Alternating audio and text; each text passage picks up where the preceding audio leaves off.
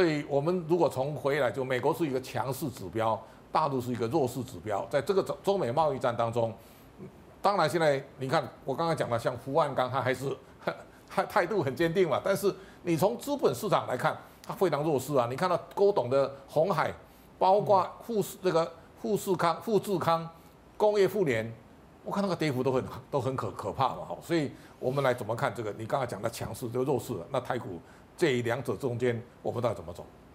其实这是台股哦，它这个整个呃几乎是非常激烈的哦，这个跳空带大量长黑跌破大颈线。对，六百六十点其实你你。你在看，如果从过去的历史经验来看的话，这个你跳空缺口能不能回补，就是一个很重要的。对，你我们在看哦，那么大的一个跳空缺口，要一次回补，难度非常非常的高。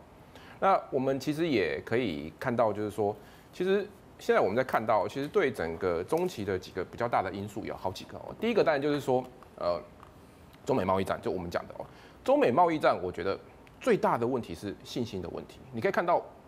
中国大陆已经开始，比如说汽车这种这种永久性的消费财，它这汽种已经开始哦，这个越买越少了。对，那我在那个股价最严重，你看它东风汽车跌了快八十趴，对，一汽夏利跌七十几趴对，这个是其哇，实是那个很可怕。吉利也是这个，这个是对于很多人来说，因为汽车它不是说日日常用品嘛，我可以不换车，我就不要换车，我可以延延后递延我的消费。那这里面更重要的是，如果你再去看最近哦，有一个很大的警讯，这个可能比较少人关注到。大概在今年六七月之前呢，全世界呢八寸晶圆厂是满载，对，你要产能全部都要不到。为什么？因为很多人去 book 车用电子，全部都用八寸晶圆。现在你如果去看问去这个市场上问一圈，其实八寸晶圆的这个产能全部都松掉了。对，为什么？因为车车用电子，你车子卖不出去，怎么会需要车用电？那么我现在讲回来，就是贸易战这里有几件事情跟跟台湾比较有直接关系的。第一件事情就是这些关，因为这个社长之前也提过哈，大陆呃出口十大出口企业里面有八家是台商，那么关税打的话，当然就是直直接会打到这些出口的那个台商。那么这些台商显然必须要移转生产线，如果从大陆出口的话是不行的。那么有一个可能性就是说从大陆的一些零组件运到台湾这边，从台湾这边出口美国，来避开关税。如果是这样子的话，会有一个这个最近现象非常频繁。哎对这这里会有贴贴台湾的牌子。哎，对，这里会这样，会有一个问题。我讲毒药丸这件事情，那个社长刚才提到哈，跟墨西哥签的时候，好塞进这个毒药丸条款啊，就是如果你跟非市场经济体签自由贸易协定的话，美国有权退出这个新的协议啊，然后再用这个来把加拿大也绑进来，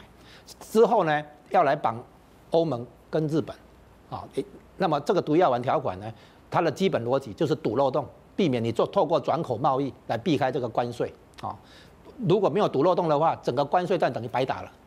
啊，中国可以透过很多迂回的管道，间接还是可以打到美国市场去，进入美国市场。那么这个堵漏洞里面，欧盟跟日本最后都会选边，就是美国等于要大家选边嘛，所以他会加入这个美国这边。但是有一个地方哈、它就会变成一个大漏洞，就是中国可以把东西送到这个地方，再出口美国，这个地方就是香港。那所以美国到最后可能要堵这个香港漏洞，现在已经在打香港的汇率跟它的那个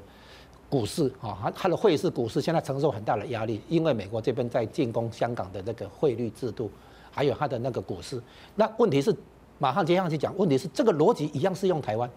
所以如果美国要堵漏洞香港这个漏洞的话，一样的逻辑，它也要堵台湾这个漏洞。